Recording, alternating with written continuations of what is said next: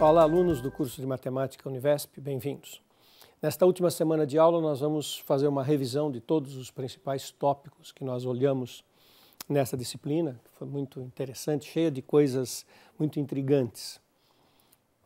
Na aula de hoje, vamos olhar a ideia de convergência de sequências e séries numéricas. Então, lembra que uma sequência é convergente se ela tem um limite real e finito e é divergente caso contrário. O que, que pode ser o contrário de ter um limite real e finito? Ou a sequência oscila, ou a sequência vai para mais infinito ou para menos infinito. Nesses casos, dizemos que ela é divergente. Dizemos que ela é convergente quando tem um limite número finito. Por exemplo, essa sequência 3,5, 3,55, 3,555. Observe que na sequência o número de 5 é finito. O limite dessa sequência é o número real 3,555 com reticência, a dízima periódica, que a gente sabe escrever na forma de fração. É 3 mais 0,555 tem fração geratriz 5 nonos, tem muitas maneiras de obter isso, e é esse número é o número 32 nonos. Aqui o limite deu um número racional. Podia dar um número irracional, como na sequência que tende para a raiz de 2. 1,4, 1,41, 1,414, 4142. O limite é a expressão decimal do raiz de 2. Nesse caso não é periódica. Eu não tenho como obter isso através de uma fração geratriz. Esse número é irracional. Ele não é dado pelo quociente de inteiros. Ele é um número irracional raiz de 2. E esse é o limite, então, de uma sequência. Série está associada à sequência. A gente começa com uma sequência e faz as somas parciais dos termos da sequência. A1 mais A2 mais A3 até o AN. Isso chama soma SN. E a gente passa o N para infinito. Quer dizer, a gente começa com uma sequência numérica, constrói uma segunda sequência, que é a sequência das somas parciais, e vê se a sequência das somas parciais tem limite real finito. Se ela tiver limite real finito, a gente diz que a série é convergente e que a soma infinita da série, isso é novidade, porque agora é uma soma infinita da série, é o valor limite. Um, um, exemplo muito bonito que a gente discutiu em aula foi esse aqui, não é? 1 mais meio mais um quarto mais um oitavo, a soma dá 2. É igual a 2. Cuidado em termos de precisão de linguagem, não é que ela tende para 2. Quem tende para 2 são as somas parciais. A soma infinita é 2. O exemplo que eu falei agora de pouco também pode ser pensado como uma soma. 3 mais 5 sobre 10, mais 5 sobre 100, mais 5 sobre 1000. Cada um desses 5 que estão deslocados sobre 10, sobre 100, sobre 1000. Então, esse número também pode ser olhado como soma da série. 3 mais, isso aqui é uma PG, que o primeiro termo é 1, é 5 décimos, o A1 é 5 décimos, e a razão é 1 décimo. Então, A1 sobre 1 menos a razão, fazendo a conta, dá de novo 32 nonos. O importante é perceber que essas duas ideias estão conectadas com o conceito de número real. Vale para qualquer dízima. Então, se você pensar num número aqui, eu escrevi esses dígitos, esses algarismos, de forma sem pensar, aleatoriamente, fui escrevendo. Então, não sei, não tem uma regra de formação aqui. 3, 6, 1, 6, 7, 7, 0, 2, 1 e continua. Então, imagine um número real. Pode ser periódico ou não, pode ter lei de formação ou não. número real. Isso é uma dízima periódica uma dízima infinita, não periódica, uma dízima infinita. Eu posso pensar que esse número real é o limite dessa sequência. Isso é uma ideia que a gente chama de sequência de Cauchy. Então, à medida que eu vou acrescentando um número, eu vou me aproximando do limite da sequência. E o número real eu posso pensar como o limite da sequência. Ou eu posso pensar nisso como a soma de uma série convergente. Então, isso aqui é a soma 3 sobre 10, 6 sobre 100, 1 sobre 1000. Os algarismos estão aqui, 3, 6, 1, 6, 7, sobre potências crescentes de 10. Isso é uma série convergente e converge para esse número real. Então a gente pode sempre pensar que um número real ele é o limite de uma sequência ou a soma de uma série. Isso é o conceito de número real. que é muito difícil de responder essa pergunta. Mas o que é um número real? A gente sabe definição para o raiz de 2, a gente sabe definição para alguns números, para o π. Mas o que é o conceito de número real? Quando a gente formaliza isso na análise matemática, maneiras de fazer isso é olhar como limite de sequências. Essa aqui é uma sequência que a gente estudou, que é muito útil e muito sutil. Vou contar a história dela bem rapidamente e nisso a gente vai recordar algumas coisas. 1 mais 1 sobre n elevado a n, o limite dessa sequência é o número e. Um, discuti várias vezes com vocês que a gente não pode fazer o erro de pensar que como n vai para infinito, o 1 sobre n vai para zero, a base vai para 1 e 1 elevado a n vai para 1. Não dá para passar o limite primeiro na base, indo para 1, e depois no expoente, ainda indo para 1 tem que fazer o n ir para infinito ao mesmo tempo, e a gente explorou um pouco isso na, nas semanas passadas, e esse limite é e. Sabe como que isso apareceu? De várias formas o e apareceu. Ele está presente em um monte de coisas da matemática, da natureza, da ciência, nas nossas equações diferenciais. Mas uma das primeiras vezes que ele apareceu foi nesse probleminha do século XVII de juros. Pensa que tem um capital aplicado a uma taxa de X% de juros. Depois de um ano, taxa anual de X%, depois de um ano vai ter o capital inicial, mas o capital multiplicado por X sobre 100. Né? Se for 10%, 10 sobre 100. 15%, 15 sobre 100. E colocando C em evidência, dá C 1 mais X sobre 100. Nessa época, alguém teve a seguinte ideia. Se ao invés de fazer taxa de juros anual de X%, que aconteceria se eu fizesse dois semestres com taxa metade? Ao invés de cobrar, sei lá, 10% ao ano, se eu cobrar 5% no primeiro semestre, 5% no segundo. Qual é o ganho do emprestador do dinheiro? Que ele capitaliza antes. Olha como dá a diferença. Vou mostrar aqui. Então a taxa, a taxa seria x sobre 2%, ou x sobre 2 sobre 100. Depois do primeiro semestre, a mesma fórmula de antes, né? 1 mais o x porcentagem sobre 100, 1 mais x sobre 2 sobre 100. esse é o capital do primeiro semestre. Aí entra o segundo semestre, de novo faz essa conta e dá o capital inicial 1 mais x sobre 2 sobre 100 elevado ao quadrado, porque multiplicou duas vezes. E a pergunta que surgiu para que os matemáticos respondessem é que, se ao invés de fazer anual ou semestral, se eu fizesse mensal, se eu diminuísse o período, para n períodos com taxa x sobre n. Ao invés de fazer anual com taxa x, divide em mensal, faz taxa x sobre 12 e capitalização mensal.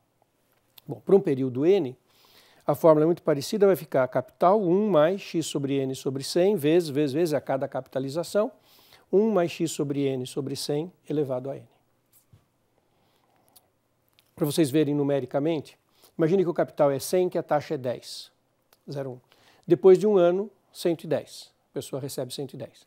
Se ela fizer duas capitalizações semestrais, ela receberia 110,25. Se ela fizer três quadrimestres, três capitalizações ao longo do ano, fazendo a taxa ao invés de ser 10, 10 dividido por 3, ela receberia 110,381. Percebe que está aumentando, né? 110, 110,25, 110,381. A pergunta era, se a gente for períodos menores, menores, menores, menores. E repetir, repetir, repetir, repetir. Para onde isso tende? Vai para infinito? Qual o limite? A conta que, se, que fez, eu vou mostrar para vocês o que acontece, é que na situação limite, o, tenderia para 110,517, que é 110 vezes raiz décima de E. E eu vou mostrar por quê sendo a taxa de 10%. Esse 10 aqui tem a ver com a taxa de 10%. Olha que bonitinho. Capital aplicado 1 mais x sobre n sobre 100 elevado a n. Isso aqui é x é, é, fica aqui um. Se o x é 10, então fica esse 0,1 sobre n. Eu substituir x por 10 aqui fica esse 0,1 sobre n, e isso tende a C, que é o capital, vezes raiz décima de E. Olha que coisa genial. Isso foi descoberto no século XVII. Por que, que apareceu raiz décima de E? estou fazendo de trás para frente, né? vocês sabem o limite que dá E, 1 mais 1 sobre n, m elevado a m, que isso dá E. Mas olha o que, que aconteceu ali, 1 mais 0,1 sobre n elevado a n, eu faço uma mudança de variável, o 0,1 sobre n eu chamo de 1 sobre m, multiplicando aqui o n é 0,1m, substituo aqui o 0,1 sobre n por 1 sobre m, e aqui fica 0,1m. Aí eu jogo o 0,1 para fora, esse limite aqui é e, e portanto isso é raiz 10 de e, raiz índice 10 de e. Porque eu estava usando taxa de juros de 10%. Dependendo da taxa de, de juros, vai ser outra uh, conta a partir do e. Mas foi assim que apareceu o, uso, o tentar entender esse limite. 1 mais 1 sobre m elevado a m, que dá o e. É muito bonito, né? e foi, isso é, é um fato histórico. A gente viu o critério da razão. Eu vou fazer um exemplo em que o e vai aparecer de novo. Olha que coisa legal, esse exemplo é muito bonito também. Série, uma constante k elevado a n, n fatorial sobre n elevado a n. Aparentemente muito difícil de avaliar se essa série converge ou diverge. A, gente, a intuição da gente se perde com esse n fatorial, n elevado a n, k elevado a n. Se a gente escreve os primeiros termos dessa série, a intuição da gente não nos diz nada se isso vai convergir, não vai convergir. O critério da razão, a gente faz o limite do AN mais 1 sobre o AN, que eu escrevi aqui, da esse K elevado a N mais 1, N mais 1 fatorial e N mais 1 elevado a N mais 1, e o AN é o próprio KN, N fatorial, NAN. Multiplica invertido, simplifica, né? por exemplo, esse N mais 1 fatorial com N fatorial da N mais 1. Esse N mais 1 elevado a N mais 1, eu separo um N mais 1 aqui, que vai cancelar com esse outro. Aqui vai ter um cancelamento. Esse N a N e o N mais 1 a N, eu separei um dos N mais 1, né? então ficou N mais 1 e N mais 1 a N aparece aqui, que é o limite que tem a ver com E. E o K, a N mais 1, K a N sobrou um K. Esse aqui é o inverso do, do que dá E. O que dá E é 1 mais 1 sobre N elevado a N. Observe que se eu somar as frações, isso aqui dá N embaixo e N mais 1 em cima. Aqui está invertido, por isso 1 sobre E. E K. E o que, que dizia o critério da razão? que se esse limite é maior do que 1, a série diverge. Se esse limite é menor do que 1, a série converge. E se esse limite é 1, o critério da razão não diz nada. Então, para k maior que e, a série diverge. Para k menor que e, a série converge. E para k igual a e, o critério da razão não diz nada. É possível resolver para k igual a e por outros métodos mais sofisticados e concluir que ela diverge, mas nós não vamos fazer isso hoje. Mas o que é interessante observar aqui é que o critério da razão permite responder rapidamente. Se eu colocar aqui 5 elevado a n, n fatorial sobre n elevado a n, divergente porque 5 é maior do que e. E se eu colocar aqui 2 elevado a n, n fatorial sobre n elevado a n, convergente porque 2 é menor do que e. Então, é interessante observar é, como que o e aparece aqui também nessa série. Ele é o divisor de águas. Para números maiores do que E diverge, números menores do que E converge. Também é um exemplo super bonito de convergência de séries. A gente também viu, nesse contexto de séries numéricas, a gente viu outros critérios, critério da raiz, critério da integral, e, o, e a gente discutiu também o conceito de série condicionalmente convergente. Por exemplo, essa série aqui menos 1 elevado a n sobre ln de n2 mais 1.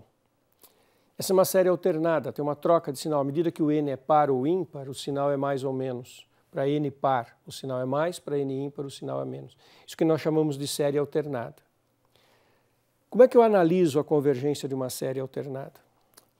Vou olhar em módulo. Se ela for convergente em módulo, então ela é convergente também como alternada. Se converge com valor absoluto, converge também com a troca de sinal. Claro, né? Se com a soma dos termos positivos ela tem um limite finito, quando você permite cancelamentos também vai ter um limite finito, não vai para infinito. E, e se ela for então convergente em módulo, ela chama absolutamente convergente, e isso quer dizer converge com e sem módulo, com sinal e sem sinal. Então eu pego a série em módulo para saber se ela é convergente ou não. LN eu comparo com 1 sobre N.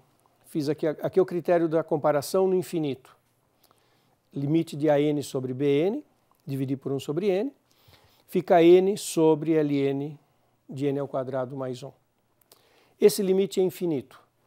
Se alguém tiver alguma dúvida que esse limite é infinito, pensa na função de variável x, x sobre Ln de x ao quadrado mais 1. Isso vai para infinito, isso vai para infinito, é uma indeterminação. Aplica o teorema de L'Hopital. Deriva em cima, deriva embaixo, que você vê que vai para infinito. Critério da comparação. Limite deu infinito. Quer dizer que a que está em cima é maior do que a que está embaixo. Né? O limite está indo para infinito. E a que está embaixo é a harmônica a série harmônica é divergente. Então, a que está em cima, que é maior do que a harmônica, também é divergente. Então, a minha série diverge em módulo, não é absolutamente convergente. Sutil, né? A gente tem que lembrar de comparar com uma série, no caso eu comparei com a harmônica, tem que saber que a harmônica é divergente, tem que saber o critério da comparação no limite, o que conclui daqui, tem que saber fazer esse limite, tem que para isso usei L'Hopital. É, é uma coisa muito rica, muito sofisticada os, os argumentos que nós estamos fazendo. Agora vamos voltar para a alternada. Esse termo 1 sobre ln de n ao quadrado mais 1, ele é maior do que zero. É só pegar n acima de 2 para que isso aqui fique maior do que 1 ln de, zero, de 1 é zero. A partir de n, n, quando isso for maior do que 1, o ln é positivo. Então, já é positivo. Ah, na verdade, para qualquer n, né, vai ser positivo. 1 sobre ln de n ao quadrado mais 1 tende a zero. E ela é decrescente. Como é que eu sei que é decrescente? n ao quadrado cresce, ln cresce. Então, essa expressão que está aqui embaixo, ela é crescente. Se a expressão que está embaixo é crescente, 1 sobre é decrescente. Outra maneira de ver que é decrescente seria pegar a função 1 sobre ln de x quadrado mais 1 derivar e ver que a derivada é negativa. Aí concluiria que a função é decrescente. Mas é fácil concluir que ela é decrescente se você vê que o denominador é crescente, 1 sobre é decrescente. Como eu tenho as três condições do critério de Leibniz, então Leibniz diz que essa série alternada converge. Então o que, que eu concluí? Que a minha série em módulo diverge e que a minha série alternada converge. Isso chama condicionalmente convergente. Na verdade, tem três possibilidades. Ou as séries convergem as duas, com módulo e sem módulo, com sinal e sem sinal, absolutamente convergente. Isso converge com a troca de sinal e diverge em módulo, condicionalmente convergente é o caso, ou ela diverge, e aí não, não tem jeito, com ou sem troca de sinal ela é divergente. Esses foram os critérios que a gente usou para convergência de sequências e de séries. É uma coisa bastante elaborada, né? exige muito trabalho, muitos exercícios para a gente dominar, mas aqui eu fiz um resumo para vocês de tudo que a gente viu nas aulas. Tá legal?